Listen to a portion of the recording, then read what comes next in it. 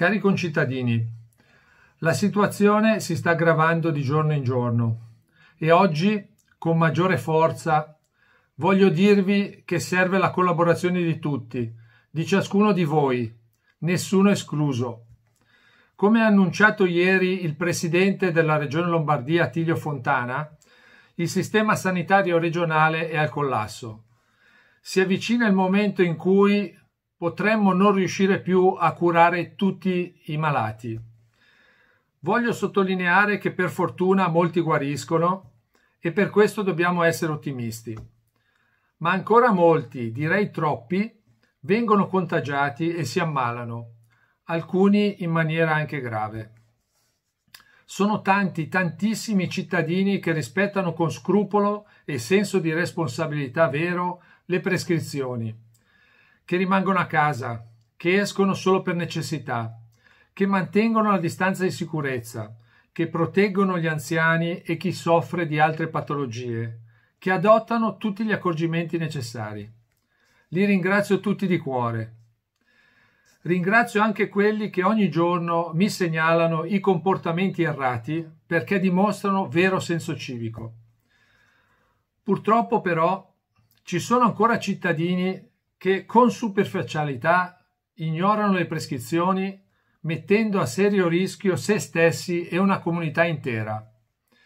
Mi sento di dire che ciò non è più tollerabile.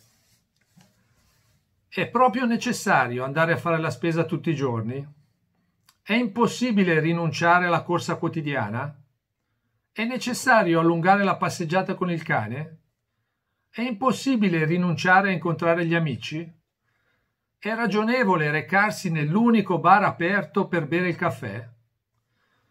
Questi comportamenti denotano irresponsabilità. Ricordatevi che anche chi sta bene può essere portatore di contagio.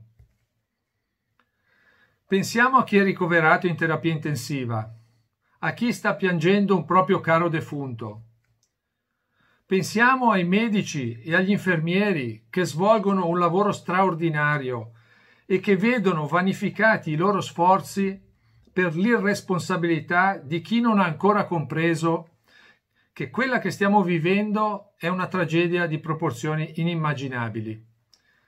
È difficile, lo è per tutti, ma non possiamo mollare, non adesso. Servono ancora molti giorni di rinuncia e di impegno su tutta la linea, ma ce la faremo, ne sono convinto. Ma dobbiamo rimanere in casa e proteggere le persone fragili. Medici e infermieri hanno tutta la nostra riconoscenza. Siamo loro idealmente vicini e li sosteniamo con tutto il nostro cuore. Anche per rispetto a loro ho voluto fare questo ulteriore appello. Vorrei esprimere la mia vicinanza e di tutta l'amministrazione comunale e della cittadinanza alle persone ammalate, a chi ha perso un congiunto, a chi non ha un, ha un familiare ammalato o ricoverato, a chi è risultato positivo. Questi sono momenti difficili, da vivere con la dignità propria della nostra gente, pur nel dolore, ma che ci auguriamo di superare presto. Concludo richiamando il senso civico che è dentro di noi e lo spirito di comunità che sento via via crescere fortemente sempre di più.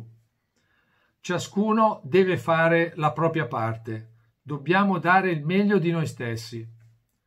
L'organizzazione che abbiamo attivato ci dà ampie garanzie per l'assistenza dei cittadini nelle necessità quotidiane. Non temete. Impegniamoci e tutto tornerà alla normalità. Ne usciremo più forti e compatti di prima.